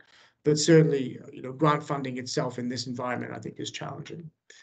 Um, so some case studies. So it's it's great that we've you know we've talked esoterically about things. Um, let's let's talk about an example. So what you've got here is the SoftBank headquarters at Takeshiba in Tokyo, a city I love well, and I, I think some of my my colleagues and counterparts from SoftBank may actually be on this call, so welcome. I hope you guys are well and good luck with the Olympics. Um, you find here that the Takeshiba precinct here um, has been deliberately designed by SoftBank to be the smartest place um, on Earth because of SoftBank's belief in artificial intelligence as being the future of making life better for humans. And what they've really done is focused on a few things. Uh, traffic coordination, which in Tokyo is important, people movement, again, because of large populations. They've really gone hard on IoT. They've really gone hard on AI, being able to control the precinct and change things dynamically. Um, and they've also gone further as well on some really interesting things. Disaster prevention, obviously, Tokyo uh, has had its fair share of disasters. If you're going to invest substantial amounts of money in a precinct, you want your population to be safe within it, and you want it to withstand um, disasters. And so therefore, um, smart technology can really help in terms of that. And uh, it, it, it's quite impressive actually what they've done on that space. And the other thing is really interesting is virtual, the virtual reality capability of it. Their video conferencing facilities are beyond anything I've really ever seen in terms of this uh, this precinct, where it really is becoming more and more realistic uh, for you to be a hologram in a particular room, and uh, and that again is part of you know the reason why they developed this precinct as a standout for why um, why they do what they do, but also to show their customer base globally what they're trying to do. Now, the interesting thing with this is this is commercially sensible for them because of the type of company they are and what they're trying to do. So while it's a great example, it's not necessarily the right smart cities platform example for every company. So one of the things we tell our clients is for if you want to be a smart technology company, you have to understand what your actual mandate is. What are you trying to do with your business? And let us tailor the technology element to suit your business and your business plan. So while this is a great example for SoftBank, it may not necessarily be a great example for Nestle, which might be a, a whole different kettle of fish, would be 5G virtual network type model, right? And you know, and that's something we can discuss more in, in the questions. Um, so then let's take a residential example. Um, this is the Yarrabilba community that is a Lendlease community in um, Queensland. It's warm there. It's a beautiful part of Queensland. Uh, it is one where we've really gone and tried to demonstrate to the local council and local council environments what you can do with a community when you integrate technology into it. So it's got its own fiber network. It has public Wi-Fi throughout the whole um, whole development. It has energy monitoring. It's got a smart battery uh, that uh, houses can use to run their energy off it. It has electric car charging stations. This is several years old. It already had those things. Um, and most importantly, during a time of drought, water monitoring and weather monitoring were critical. And we have pretty sophisticated sensors that have gone into there to do that. And uh, that has helped with water use. And it also has smart waste. So in other words, you've got bins who are there that can tell you when they're full or not full. Um, so sounds pretty good all around. Imagine a community that's this smart. The question is, what does all of this mean in terms of the commercial model for a local government? So one of the examples I tend to, to use is this is really great for the community that lives there. They get free car charging, they get free public Wi-Fi, they get um, uh, a lot of access to fiber that's free, but somebody has to pay for it. In this case, the developer paid for it. We did because we wanted to demonstrate the potential of bringing a residential community up to a smart standard. So, but the commercial model still has to be worked out there. And this, and it hasn't been in this case. The second thing is it also has to integrate with what the public sector does in terms of its own network and own management of these precincts. So when a development like this gets finished, it gets handed to the public sector. They then become responsible for the parks, they become responsible for waste management, all that stuff. In fact, they almost take waste management from day of opening. If you have a smart bin for for a reason and it tells you it's full, that's wonderful. But if you're running an analog network where the bins are only picked up on Thursday, does it really matter whether you know whether the ball is uh, the bin is full or not? It doesn't. So there is a, a whole piece of work here around the creation of public good from these assets uh, when you integrate them with technology and how government responds in terms of managing that public good post um, the handover of public assets to them. So another example would be if you have, uh, as we do in this thing, a public park that is on a particular smart watering cycle, and we put that technology in as a condition of the development application. Everybody's really happy. It's really intelligent and smart. Then the council takes that over afterwards. Who pays for the life cycle costs of all of those sensors and assets and things like that? Does the council pay for them? Technically, yes, but are they funded to do so? Is their business model structured the right way for that? These go back to all of Michael's earlier comments in his presentation into how you integrate with the public and private sector. So one of the challenges is, as I see them uh, in terms of an investor in property and infrastructure Um, so I, I, I boiled it down to four things, right? So number one thing is retrofitting. Um, so earlier we showed you Barangaroo 2008. The technology in Barangaroo is pretty good, but it's not the, the latest that's going into, for example, our Circular Quay tower. So you have to retrofit a lot of dumb buildings to be smart. And you've got to do that in a commercially sensible way. And I'm not going to tell you I have a, an amazing answer for that necessarily, but it's important to note that investors are continu continually asking us how to do that. And as part of managing funds uh, for investors, that's a that's a problem we're going to solve because that's what you know we're being asked to do so. How do you do that if you're a public sector agency and you own public assets? That's an interesting question we need to think about. Um, we talked a bit about procurement models.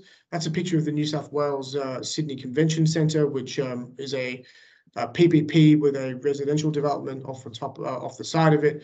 That was what we call a, a collaborative dialogue, um, uh, sorry, a competitive dialogue process, which meant that the tender process was step by step with the public sector, where we both worked out the outcome together, and then they picked one at the end. Um, it is one of the best run procurement processes I've ever seen for a major project um, because it was collaborative. And uh, I, I put that up there because I think in terms of this whole smart question, there is a avenue for that in terms of how we solve some of these questions about how do you integrate smart technology, how do you solve some of the public good questions that are created by um, integration risk and life cycle cost, right? So once you jam all the technology in there, and there are some nice logos of all the different tech companies, how do you maintain them at the top standard? How do you upgrade them? You know, there is a cost to that, and often that is forgotten. And last but not least, I'm a believer. So a lot of us on this call believe technology is the way of the future. Digital is the key to solving some of the big world problems. Um, not everybody feels that way. And so you find in with many decision makers in uh, positions of deciding yes or no on a procurement deal or otherwise, that the technology solutions for things often get rubbed out as part of commercial assessments. And you end up with a much dumber development than you possibly should have had, uh, which means that the outcomes are much poorer than they could be. So Michael talked earlier about this, you know, and uh, perhaps that was in his CV um, about the eight councils and Western Sydney and and all of the opportunity out there. There is an inordinate amount of, of money going into infrastructure into Western Sydney. Prior to the pandemic, two out of three Sydney siders were moving to um, Western Sydney. It is definitely the biggest growing, fastest growing area of our uh, of our state at the moment. Uh, it's not just driven by the infrastructure itself. It's actually driven by the fact that it's a it's a very nice place to live, and people want to live in areas where they can access jobs. So more and more um, there are going to be public-private partnership opportunities there that are driven by the development of infrastructure here. But I don't actually mean that in terms of the standard PPP model of buying infrastructure. I mean it in terms of local government and the development community coming together to try and solve some of these issues around how do we make sure that we get technology integrated in a um, in a sensible, flexible, scalable way to basically create the best um, workplaces create the best residential precincts. Um, and I'm sure we'll talk a little bit about, about more about that now. So, a few takeouts um, from this very quick presentation, because I'm, I'm, keen to make sure people have a chance to ask questions. Um, there is a clear case for upgrade of automation in industry believes in its future. So I don't think there's any doubt that people believe that um, digital AI uh, has a uh, smart technology has a key role to play in development and construction and in the way we create cities. Um, and I believe that most policymakers believe it has a future. But to actually make a city or precinct integrated and smart, you actually need a strong collaboration um, between the public and private sector to do it in a commercially sensible way. And this is where currently we're lacking um, that opportunity because we haven't quite figured out how to work with each other yet well on this stuff. And I must commend the New South Wales government because this particular initiative is trying very hard uh, to get people talking, get people learning, try and figure out some new ways of, do, of doing it. And, you know, uh, I think Simon Hunter uh, Rory Brown and colleagues have done a great job in actually now starting to push this issue more. Because if you don't push it, uh, you won't figure out what the problems are. And if you don't figure out what the problems are, you can't actually figure out how to treat. Um, the only way smart places work is if they're commercially sensible to run with low lifecycle costs. Um, good technology alone is nice, but not enough. Uh, referring back to Michael again, endless vendors will tell you they've got the best technology in the world. It's amazing. Why don't you buy it? Um, that's fine. And there's lots of technology that's brilliant. The question is, once you integrate it, how do you run it? And once you run it, how do you run it for a long time um, at, with uh, you know life cycle costs that are acceptable to run on OpEx basis? So it all comes down to dollars and cents and outcomes. It's not just this is a really nice piece of technology. Why don't you buy it from us? Public good generated from a smart place needs to be clearly understood by the community, which ultimately bears its costs um, and I, I always find this an important one because in these discussions, the citizen are the ones who actually pay for all of us to do this stuff. Um, and it's not just, I don't just mean that as taxpayers, I mean that as consumers of, um, of any investable product. At the end of the day, the citizen is the one that decides uh, whether something is worth buying or not. And they exercise that decision in various different ways. But all of us need to understand that they're ultimately the ones who bear the costs. So we have to keep trying to figure out how to mitigate that cost for them, whether it be an obvious cost and upfront cost or whether it be one that is um, less transparent. Best outcomes will come from early collaboration with private sector stakeholders to work out, test and drive what is new and what works. And outcomes today must be able to be outcomes tomorrow. And by that, I mean that solutions must be flexible, scalable, and adaptable uh, so that whatever we do today lives for tomorrow. Um, so I hope that is a, a, quick round the grounds of how, a, a, from a property and construction development sector, uh, view on how this smart technology could be applied. And uh, I hope you found that interesting and I look forward to your questions. Oh, that's great. Thank you, Jason. Um, just to give everyone a bit of uh, time to type those questions in, um, I've I've got one. I guess I just would love for you to elaborate on. Um, Michael already talked a, a bit about you know the difference between the the large scale capital P public private partnership, um, and and you've talked quite a bit about sort of collaborative procurement, early collaboration. Um, I guess in the in the absence of all that formal scaffolding of a of a big P PPP, um, how how can I guess realizing that a lot of smart solutions are being rolled out piecemeal rather than you know big whole smart cities. How can local governments and and place owners tap into that early collaboration? What what are some success stories that you've seen? That's a great question. I i think the it's a bit early to say what success stories are um, because i think we're really just learning what all this means. Um, my advice to local government when they've asked me this question has been you got to be very clear on what your outcomes are. What do you actually want your citizenry to have? What do you think is important to them? Is it is it better roads? Is it waste that's picked up three times a week? Is it, you know, what do you think your citizenry wants? And then on that basis, when you rezone land, when you um, set out your um, set out your LEPs, you can then specify those outcomes and allow developers to come back with solutions on how to meet those outcomes. So at the, at the moment, the way we do things is quite, it, it's based on population sizing. So we'll say, we want X number of people to live here, therefore we'll have roads and therefore we'll have schools and therefore we'll have, you know, we'll have this and that. And the funding for that may come later, but we're going to provide these things over time. I think we need to do the same thing in terms of our citizen-based outcomes. What do we think people need? What makes life easier for people living in, you know, local government area X or Y?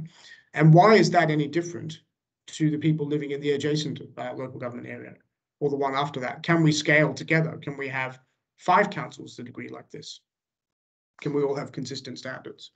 So that's certainly the way we've argued it. Now, in reality, that's not an easy thing to do. Democracy says that you know you have different uh, different views on what that means for, for community community. But we are seeing increasing examples of councils working together, and the, the eight Western Sydney councils, I think, is the first example of that. That's great. Thanks, Jason. Um, look, I, my apologies to Teresa and Adam. I just realised the chat has not been giving me notifications, but there have indeed been some messages in the chat.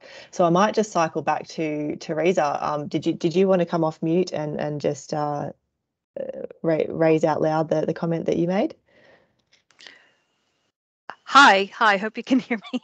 It yeah, it actually is a is a nice extension. The original question I asked, and first off, thank you everyone for your presentations.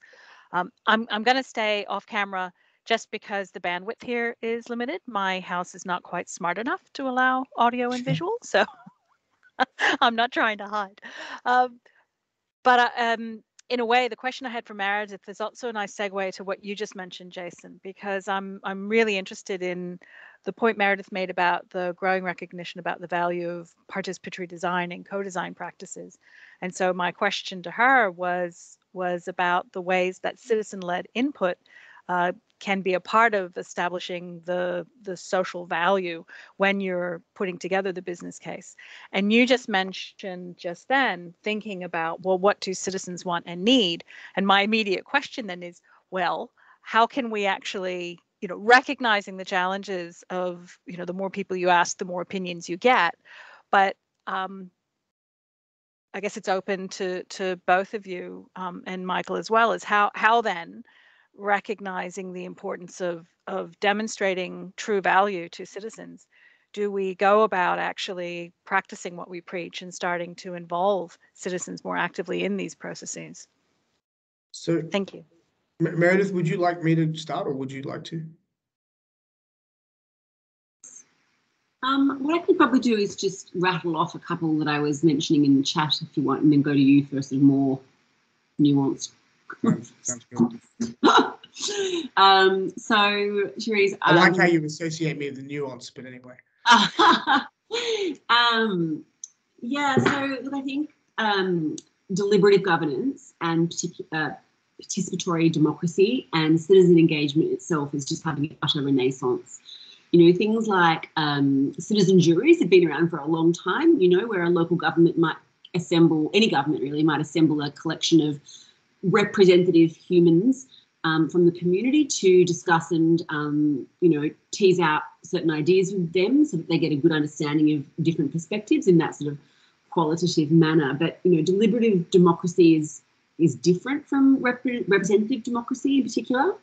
Um, and deliberative democracy really involves smaller groups and it's like quite prescriptive and allows people to like consider things at depth. And mean, you know, Melbourne, Sydney, like most councils in Australia are doing this to some small degree at the moment. But when it comes to smart cities in particular, I think participatory democracy is really governance, sorry, is quite interesting because it really just utilises spaces and opportunities for deliberation between community members and other stakeholders um, that could be physical or digital, in person or gamified. So like immersive, etc. And it really allows us to sort of turn our mind inside out and to consider problems from all sorts of different perspectives. You know, not just the classic digital twin. And I realize it's sort of ironic to be calling digital twin classic these days, but you know, um, things for like immersive participation for people with disabilities so that they can actually try or you know, um, visualize themselves in spaces and discuss the design outcomes or similar for you know elderly etc um, in terms of data particularly really quickly just some of the big international best practice examples are um, that Barcelona in particular has like some really good um, an online platform for collective learning and adaptation called Decidim. Um, and they also do um, so both Barcelona and Tel Aviv also then take that one step further and they take the data from the deliberative platform and use that to incentivize behavior with their own sort of urban currency, if you will. So if you participate in this, you get a credit for that, and then you can do this, and it could be parking, could be coffee, whatever. Um, they have there's a, there's a there's a very famous visualization cave in a place called Herrenberg um, in Europe. Um, and Philadelphia mirrored that with an immersive street installation to help them um, reimagine how they might do the city.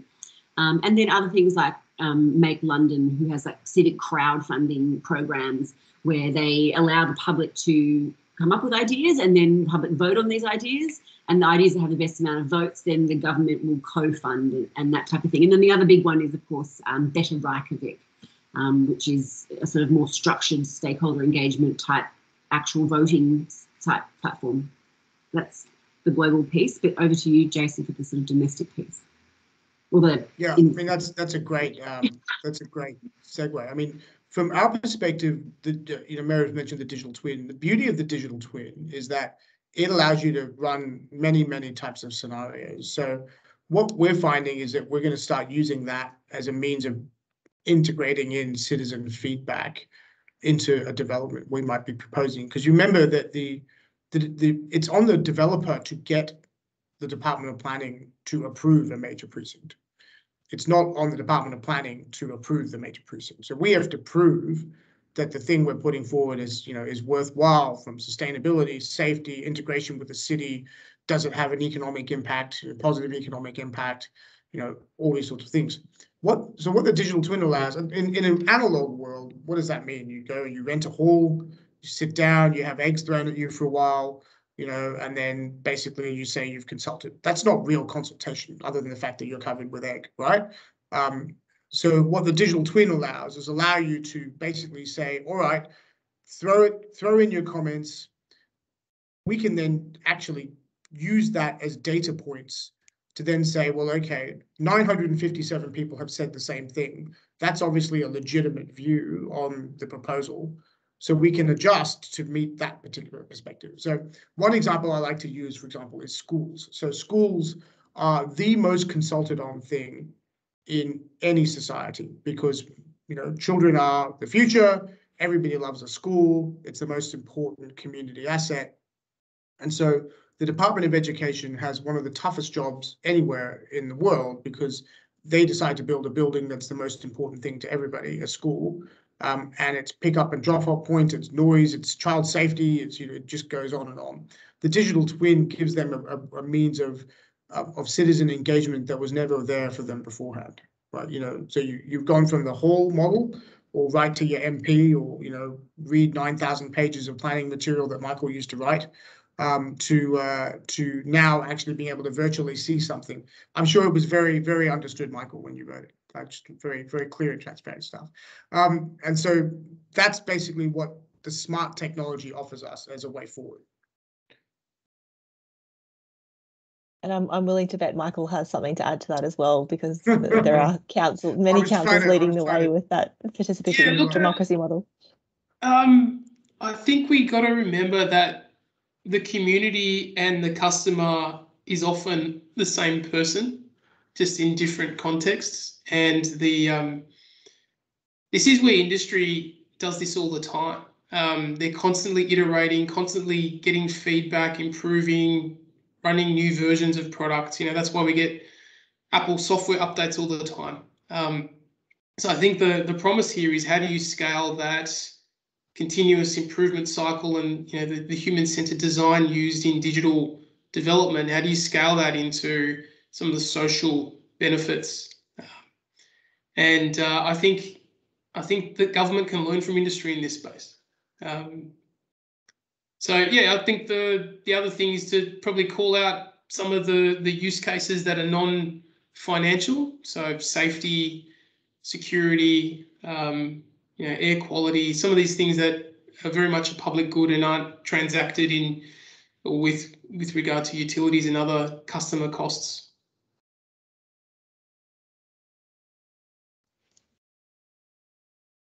Thanks, everybody.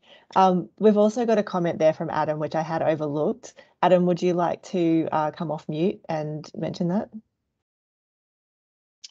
Uh, Kelly, thanks for that. It was just a quick question about monitoring and reporting progress and having a culture of that. Uh, I mean, we certainly um, are good at reporting in PDF format every three, six, 12 months after the event.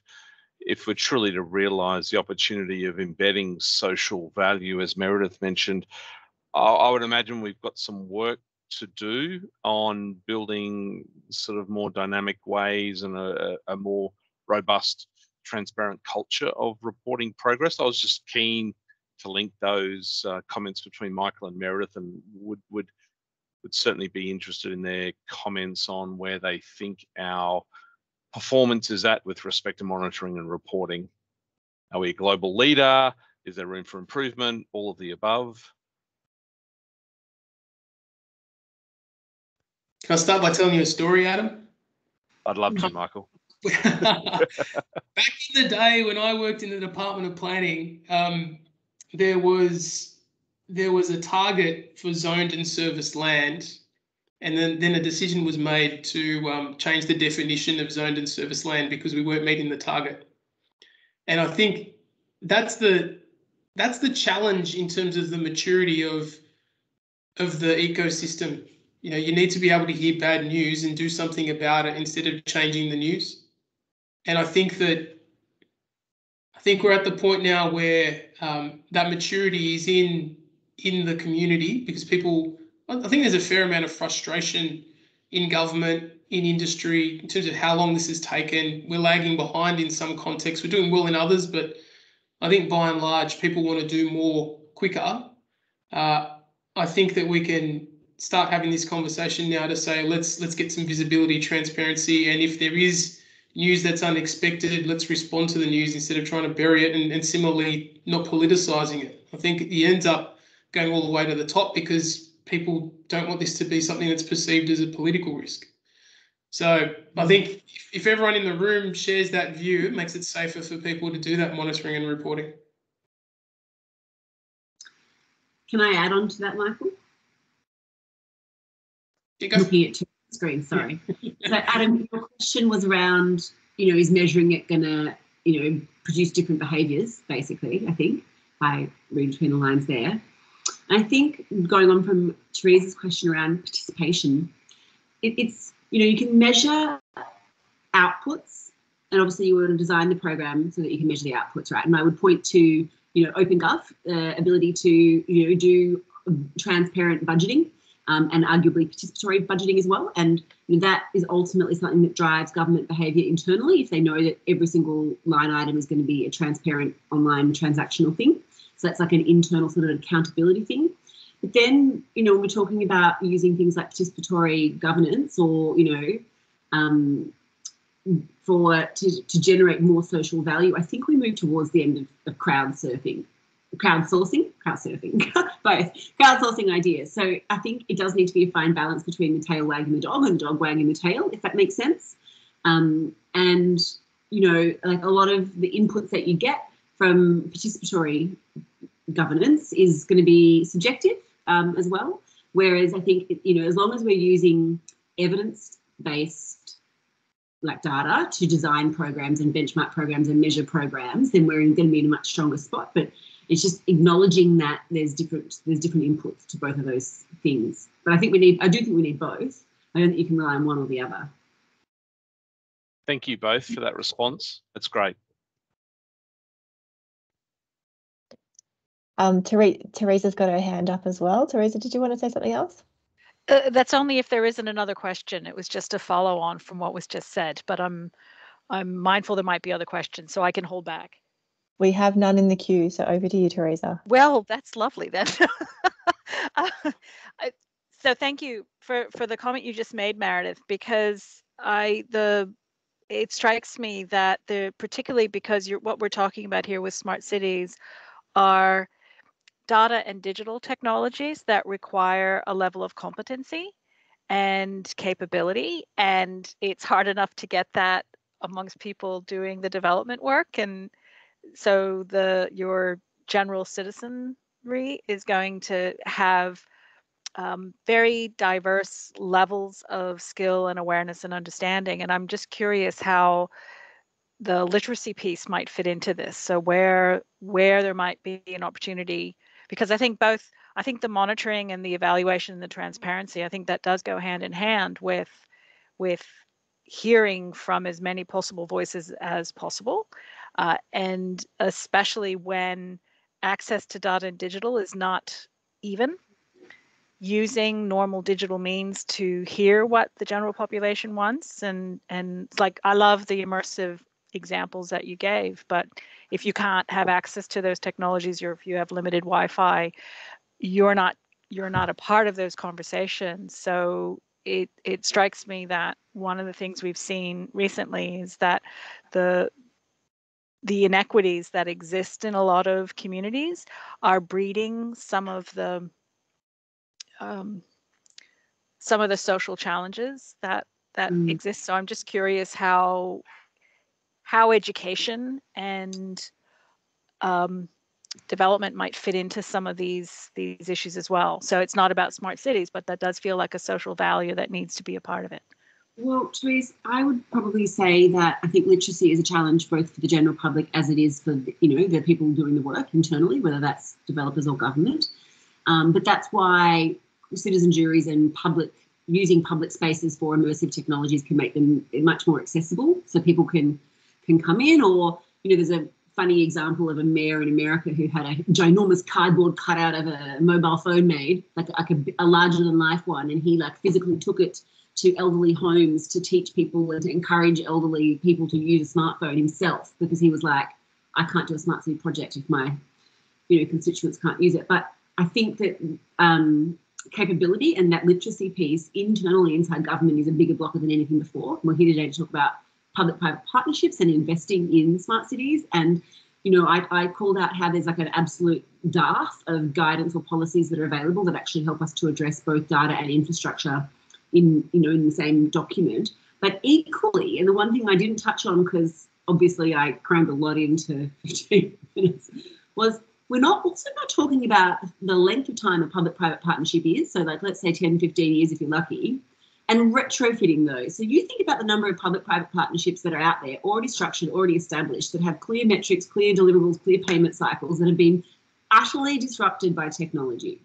So we know that technology is going to be exponentially changing. So when if we're going to write public-private partnerships now, and we don't build in principles-based clauses to enable all parties to be able to augment, adapt, iterate in the future, we are locking ourselves into crazy town. That's mine. And that comes down to literacy, I think, internally. being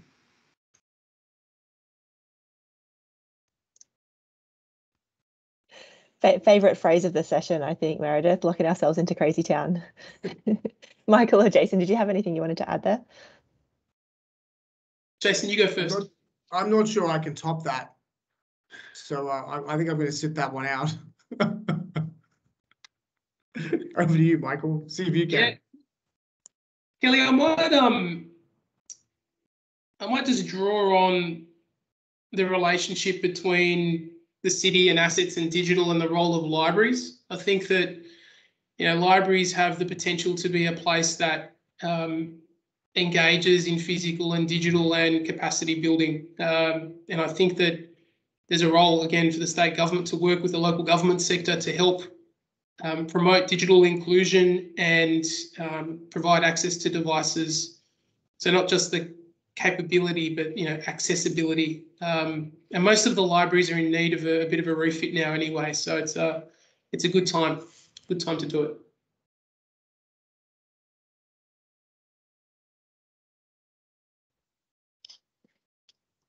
Can I just say, as a trained librarian, I applaud that, Michael. Thank you. I love that there's always one around. That's wonderful. Thank you, Teresa. All right, well, we've got five minutes left. So look, I, I just want to thank our three presenters. I what I've loved about today's session is that, you know, we've, we've been talking about money and investment in technology and really everything we've been talking about is people. So the, the biggest factor in investment in smart cities is is very, very analog. Um, so you know the the focus really is on defining that value up front and doing so by engaging everyone along the way in a meaningful way, not by having eggs thrown at you. Uh, that that we really need to take advantage of that role of government as as regulator um, and you know provider of consistency and of funds directed towards the right things to to learn to fail fast to build towards scalability um, and and that technology can't do everything. Like smart relies on collaboration. It relies on capability and capacity. Um, we need a lot more uh, collaboration. And it really comes down to what we are doing with the technology which is right back to that business case. So thank you the three of you for, for taking us full circle. Um, I, just three such different perspectives all telling the same story. It's it's quite heartening from a government perspective um, and this will this will lead us really nicely into that summit so thank you all um, I, I hope everybody on the line is registered for the summit and we'll, we'll see you online um, or in person, depending which audience you're in on Tuesday. Thank you very much. Uh, I believe there will be some links posted in the chat for the uh, presentations and so forth, um, as well as registration for upcoming um, masterclasses. And thank you, Kelly, for hosting. I hope everybody has a wonderful evening. Too. Thanks again.